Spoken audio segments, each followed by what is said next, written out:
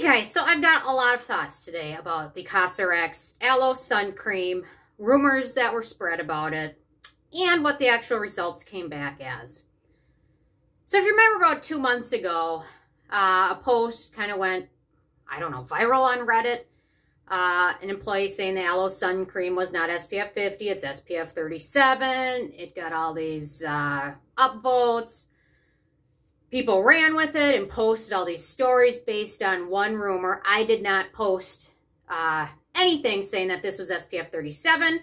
In fact, cameraman said, do some double checking. Don't report that. You can't, Reddit's not a source. You can't take what one employee says or maybe edited or cut and pasted and just report it as fact. And I think, obviously on YouTube, we're not freaking journalists here, but you do have some um, ethics or it should be important to actually report things that you've verified or tried to verify or at least spent an hour or two reading about before you go and publicize it to everybody.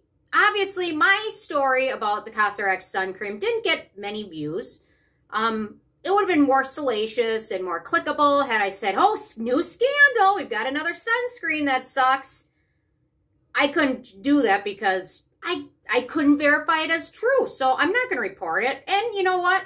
Whatever. I got less clicks than a lot of other Reddit things and other things on the internet swirling talking about it, but I do feel like it's important not to fearmonger when there's no reason to fearmonger. I mean, I said, it's a rumor. Don't take it as fact. Maybe wait until the testing comes back and then continue using it. You don't need to throw it away and don't throw whatever.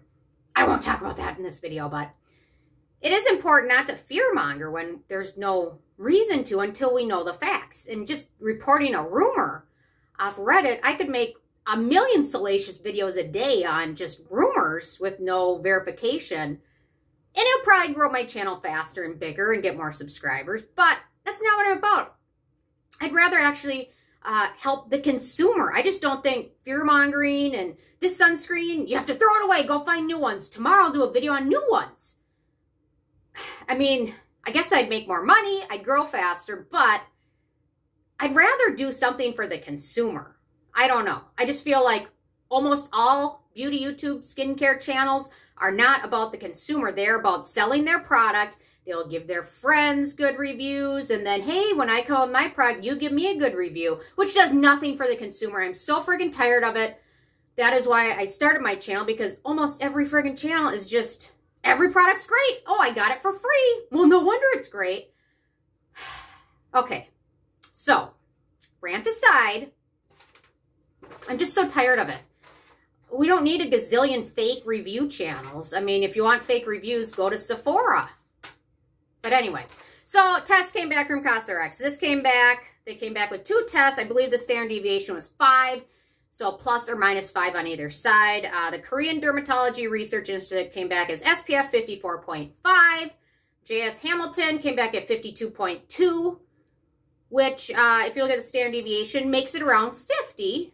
Although, technically, it's got a 50 with a little plus after it, which in a lot of countries means it should be SPF 60. So technically, like in places like Australia, I don't know if they're going to be able to sell there anymore. But this is pretty much SPF 50 as good as it gets.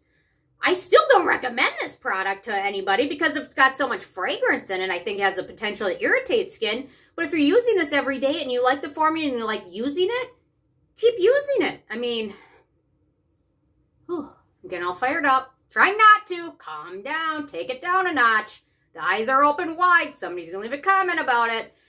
Anyway, so that's the basic thing.